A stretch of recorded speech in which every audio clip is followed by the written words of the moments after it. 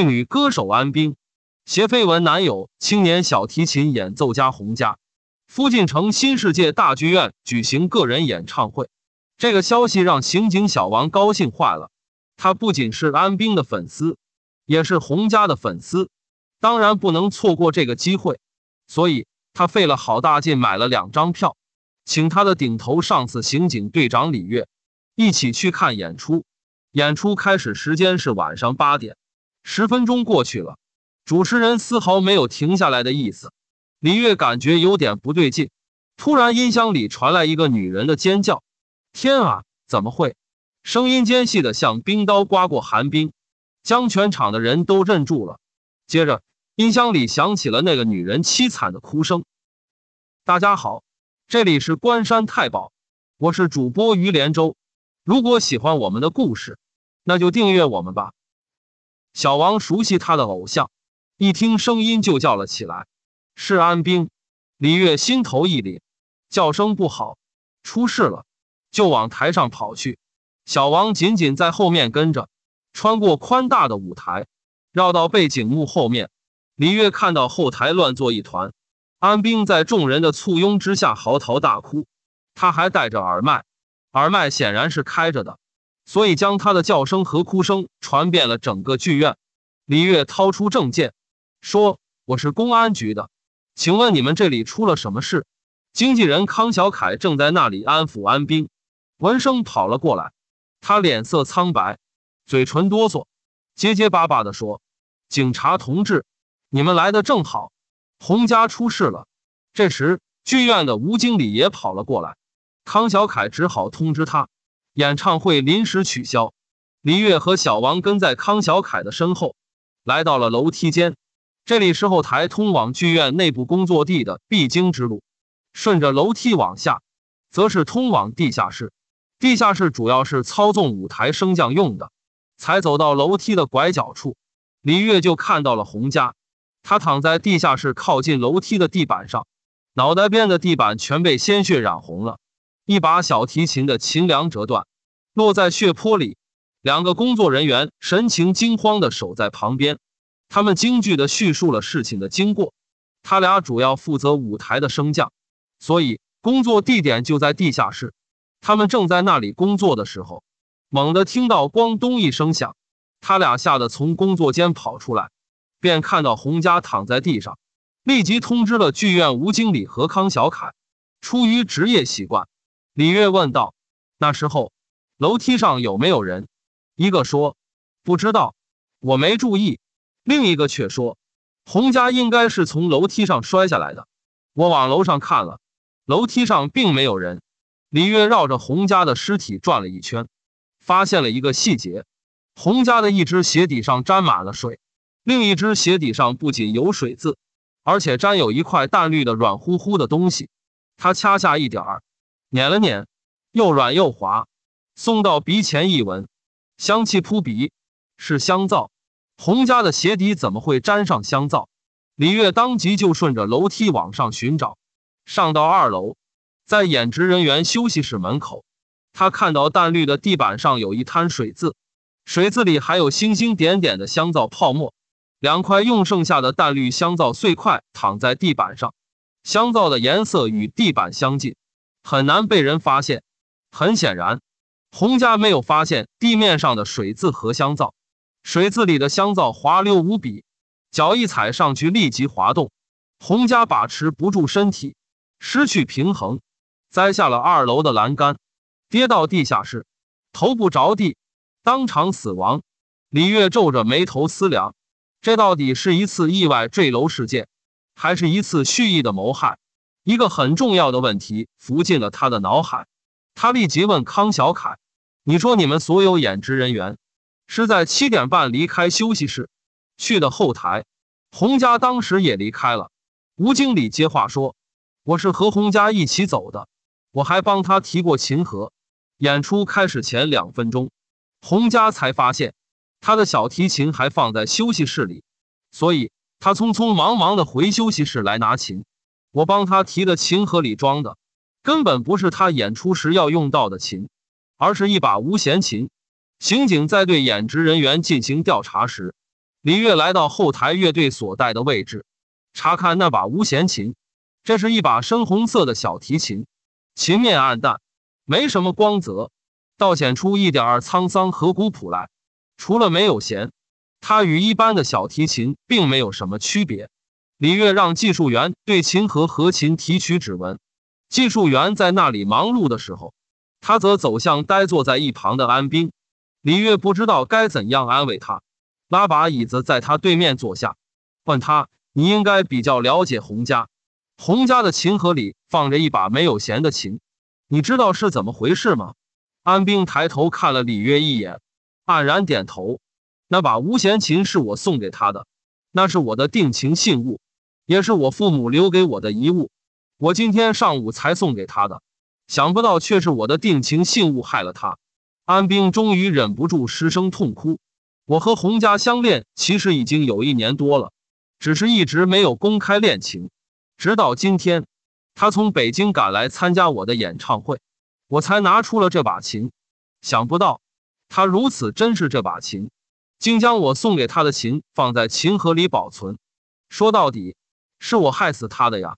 这么说，是洪家自己将这把无弦琴放在琴盒里，演出时忘了拿自己的琴。想印证这种结论似的，技术员勘察发现，无弦琴上除了有洪家和安兵的指纹，并没有其他人的。小王也汇报了调查情况。演出开场前的那段时间，所有演职人员都待在后台做演出前的准备工作，没有人离开过。小王分析说。我认为这只是意外，而不是谋杀。李月反问：“可是那两块造成洪家坠楼的绿香皂，又作何解释？”小王想了想，说：“只有一种解释，那香皂确实是这剧院里的人落在那里的，但目的不是谋杀，而是意外落下的。但现在看这两块香皂造成了命案，所以落下香皂的人不敢承认。这种解释也许合理，但不可信。”李月未置可否，只是拖着下巴沉思。小王有些为偶像神伤，自顾自的叹气。谋杀也好，意外也罢，这件事对安兵的打击太大了。他爱的第一个男人，在订婚前出了车祸。听了这话，李月不由得浑身一激灵。你说什么？安兵爱上的第一个男人，在订婚前出了车祸？你听谁说的？小王咧了咧嘴道。别忘了，我是安兵的粉丝。安兵的第一个男朋友也是拉小提琴的。两年前，在准备与安兵订婚前一周，他在上海出了车祸。安兵的第一个男友，在要与他订婚前的一周出车祸死亡。第二个男友又在接到他的定情信物当天坠楼身亡。会有这样的巧合吗？真的是红颜薄命，还是人为的祸事？李月感觉到自己的思路一下子清晰起来。李月让小王留在剧院，对现场再做一次仔细搜查，看能不能有新的发现。他自己则回了一趟公安局，在局里，他与上海警方取得了电话联系，询问两年前安兵第一位男友的车祸案情况。看着传真过来的卷宗，李月的眉头打起了结。安兵的第一任男友。是在富安兵的约会途中出车祸死的。发生车祸的根本原因在于，他所驾车辆的刹车线突然断裂，出现情况时车子没法刹车。上海警方对于刹车线的断裂曾有怀疑，疑心是有人做了手脚，但没有实质的证据，再加上也找不出谁有谋杀他的动机，此案算是不了了之。看着卷宗，一个念头跳进了李月的脑子里。也许安兵的第一任男友就是被人谋杀的。如果这种假设成立，洪家的死就更不是意外。世间没有这么离奇的巧合。安兵喜欢的男人总是在两个人要定终身的时候意外死亡。李月带着卷宗去了酒店，他要去酒店找安兵核实一些情况。安兵仍沉浸在痛失心上人的悲痛之中。当李月问他第一任男友去世的情况时，他的悲伤更甚，泣不成声，断断续续地说：“我的第一任男友，就是赴我的约会时出的事。我那天约他时，在电话里跟他说了，说要将那把无弦琴送给他。结果他在半道上就出了事。李月一愣，两个男人都是在安兵，要送出那把无弦琴的当天死亡，这不能不说明问题。他问那把无弦琴所代表的意义，除了你和你的两个男友，还有谁知道？安兵回忆演出当天的情况，然后说：“洪家下飞机后，是我去机场接他的，在机场，我将无弦琴送给了他，并没有外人知道那把无弦琴。他当时将琴装在他的行李袋里，并没放进琴盒。后来，我们直接从机场来到剧院的休息室，当时所有的演职人员都在一起，没有人能够将两把琴调包而不让人知道。”除非是剧院的吴经理和我的经纪人康小凯，只有他俩有单独接触洪家行李的机会。如果洪家的琴是被人调包的，那么在休息室门口放香皂的人就是调包的人。这个人在演出当晚八点前后就不在后台，而是去了休息室。李月找小王了解，昨晚八点左右，吴经理和康小凯在哪里？小王翻看着笔录本，说。他俩那段时间都在后台，与演职人员在一起，他们都可以证明。安兵不愿意等下去，在晋城每待一天，他就心力交瘁，身心俱疲。他要尽早离开这个伤心的，所以他提出要将洪家的遗体火化，带着洪家的骨灰回北京。警方经过多方考虑，答应了安兵的请求。洪家坠楼案只好以意外坠楼结案。两天后。洪家的遗体在晋城火葬场火化，李月作为处理这起案子的警官，也参加了洪家的火化仪式。这一天对他来说是最为难堪的一天。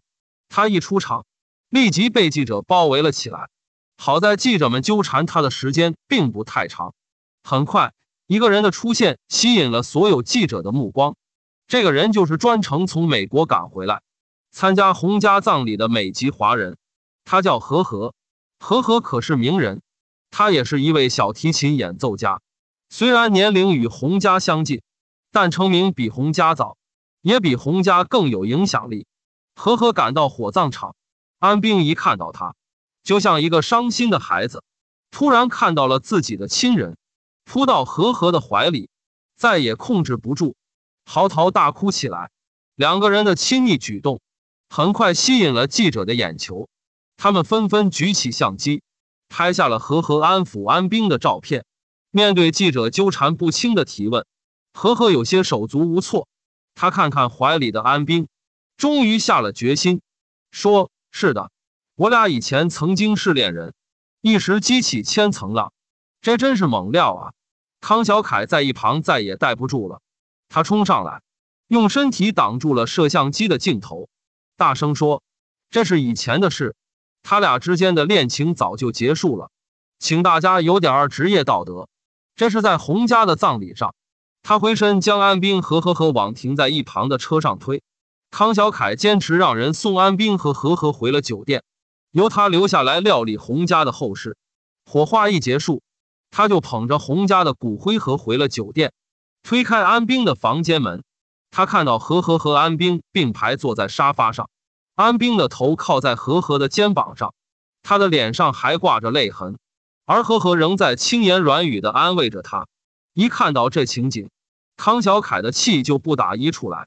他冲到两人面前，质问和和：“你今天是什么意思？你这不是在毁安兵的形象吗？你也是圈内人，你就一点儿也不懂规矩吗？”想不到这会儿安兵却站了起来，替和和说话。小凯，你也别埋怨和和，和和也是实话实说。本来我与他就有过那么一段，而且还是在与洪家之前。我和和和商量过了，我打算跟他去美国。康小凯愣在那里，愣了足有五秒钟，这才反应过来，叫了起来：“这怎么可能？这不行！你的事业在中国，你的粉丝在中国，你去美国，有几个美国人认识你？”你的事业就全完了。安兵擦着红肿的眼睛，神情悠悠地说：“经历过洪家的死，我的心都冷了，我再也没有干事业的热情，所以我打定主意了，跟何何去美国，远离这个让我伤心的地方。”康小凯还是极力劝说安兵打消这一荒谬的想法，但安兵主意已决。果然，第二天安兵就捧着洪家的骨灰盒回了北京，而且立即就去办理赴美国的签证。康小凯不甘心就这样结束，他很想单独找一次和和，但自从回北京以后，安兵就住到和和的别墅里去了。直到安兵的签证办下来，通知安兵去拿护照时。康小凯终于逮住了机会，他穿着并不合身的宽大羽绒服，栽在羽绒服的外面，罩着一件蓝色电器维修工的工作服，用羽绒服的帽兜罩住了大半个脸，背着电工包，戴着绝缘手套，装成维修工的模样。他一边检查着电线，一边很自然地进入了和和的别墅。但进了门，他才发现和和并没有睡午觉。而是倚在沙发上看报纸，这有点儿出乎他的意料。和和看到他，先是不经意的打了一声招呼，但立即便意识到有点不对劲，将报纸放了下来，饶有兴味的看着他，笑了。康先生什么时候成电工了？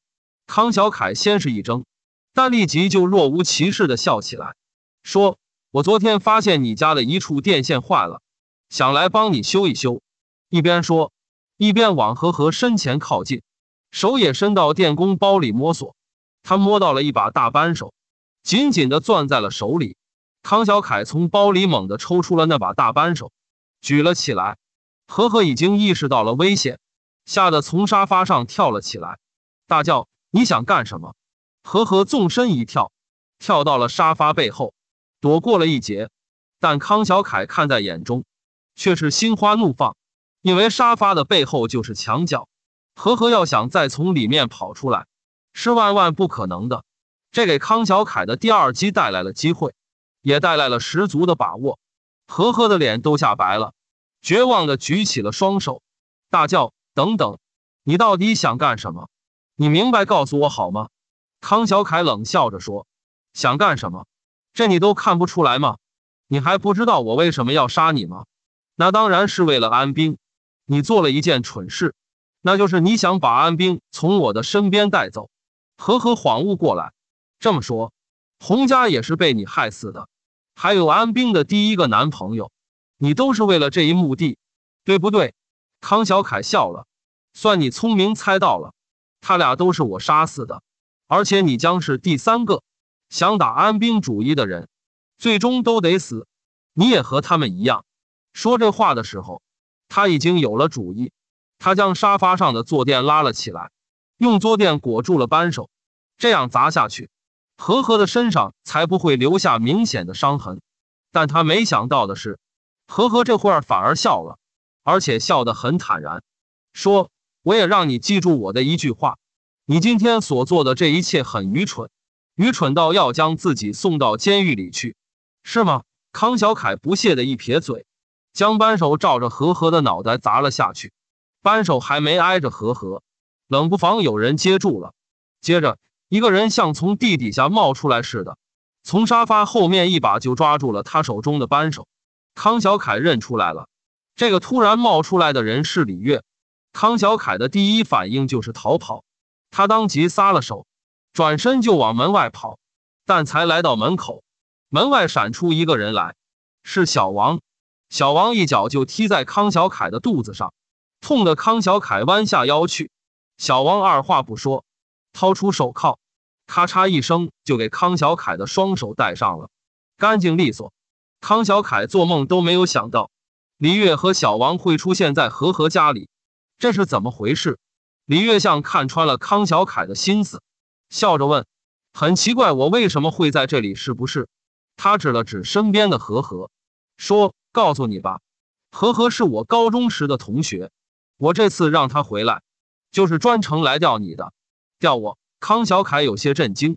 这么说，你早就怀疑我了？康小凯有些不解。既然你早就怀疑我，为什么在进城的时候不抓我？李月叹了一口气，慢悠悠地说：“这也是没办法的事情，没有证据，法院也定不了你的罪。”说着。他从口袋里掏出一个小型录音机，举到了康小凯的面前。你刚才不但对何何下手，意欲杀人，而且你也亲口承认洪家是你杀害的。现在所有的证据都有了，我可以结案了。看着李月手中的录音机，回想着自己刚才与和和的对话，康小凯一下子就虚脱了。好半天，他才心有不甘的问：“洪家的死，我做的天衣无缝，你怎么就怀疑到我？”是的，李月娓娓道来：“安兵的第一任男友，是在安兵打算送吴贤琴给他时，出车祸死了；第二任男友，是在接到安兵的吴贤琴之后，当天死亡。”这两个人的死亡都有疑点，一个是刹车线断裂，另一个是地板上无缘无故出现了香皂，所以我只能怀疑这两个人的死都是因为谋杀。而吴贤琴是安兵的定情信物，所以可以肯定，杀死这两个人的人是为了一个情字。凶手是一个爱安兵的人，他不希望安兵嫁给别人。这些话无疑说到康小凯的心坎里去了。他悠悠的长出了一口气，所以你才让和和回来给我演戏，逼我再次杀人，对不对？李月以一个微笑代替了回答，然后说：“但是我需要告诉你一点，和和与安兵之间确实没有任何关系，他俩只是在一次演出间隙聊过一阵子，被记者运用视角的原理拍了一张好像很亲密的照片，于是就传起了他俩之间的绯闻。”不过，这条绯闻刚好能用来破这个案子。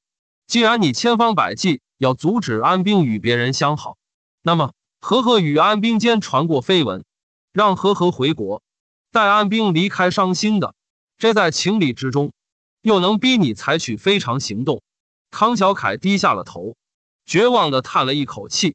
李月和小王押着康小凯从别墅里走出来，才出门，大家就看到了安兵。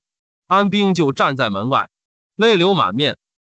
好了，今天的故事就讲到这里。喜欢的话，请给我点个赞，别忘了订阅和分享，谢谢你的支持。